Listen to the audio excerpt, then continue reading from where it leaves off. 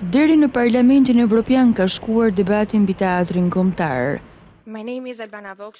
Është kryetarja e Komisionit Parlamentar të Edukimit dhe Medias Albana Vokshi, e cila këmbënguli që në axhendën e diskutimeve mbi trashëgiminë kulturore të Evropës të jetë edhe mbrojtja e Teatrit Kombëtar.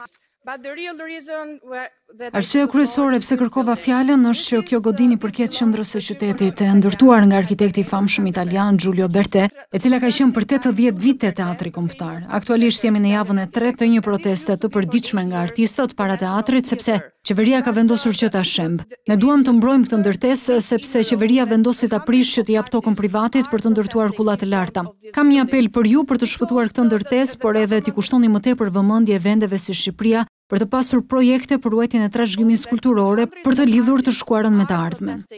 Deputetja e Parlamentit shqiptar tha para autoriteteve të larta evropiane se trashëgimia kulturore shqiptare është duke u rrënuar. Arsyeja pse kërkova fjalën sot është ndarje e një shqetësimi dhe një apel për të gjithë ju.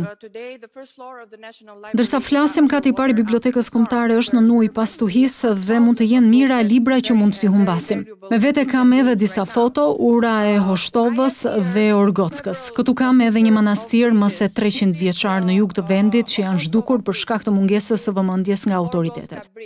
Këto deklarata kryetarja e Komisionit Parlamentar të Edukimit dhe Medias i bëri edhe në prani të kryetarit të Parlamentit Evropian, Antonio Tajani dhe presidentit të Komisionit Evropian, Jean-Claude Juncker.